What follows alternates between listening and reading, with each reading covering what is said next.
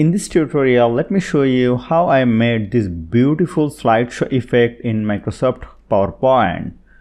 To be an expert, watch the video till the end. Let's begin the topic. Here I have already taken a blank slide. Go to insert, go to shape, pick a text box and drag it over here and write the minus sign for 8 times. Then select it, go to shape format, go to text effect, go to transformation and let me click on deflate bottom. Then click on over here and increase the size like this and make sure it covers the whole slide. If you want to insert more symbol, click on over here and type the minus sign. And here if you want to decrease the roundness, so click on the yellow button and make it like this.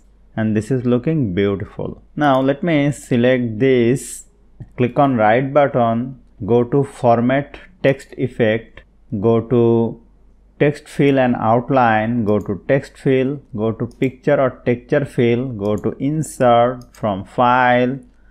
Let me insert the picture from my computer. Let me select this one and click on insert. Then go to shape effect, then go to text effect, go to shadow and click on offset center. And this is looking beautiful. Now go to insert, go to shape, pick a text box and write your text here. Change the font, increase the font spacing and increase the font size, make it bold, make it text shadow and keep it like this. Now click on right button and make it duplicate slide, select this sign, click on right button, go to format text effect, go to fill, go to picture or texture fill insert. Let me insert another picture. And you may keep your text like this. Make it center.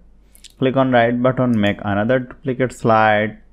Select this sign click on right button go to format text effect go to fill picture or texture fill go to insert let me insert this picture and keep the text like this. Now let me select slide number 2 and hold down the control key, select slide number 3, go to transition, click on over here and click on vortex Then select this slide, go to effect option, click on from top.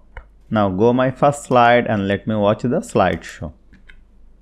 This is looking beautiful. And this one also looking very beautiful so hope you found this video helpful if you like this video please share this video with your friends and family and don't forget to subscribe thank you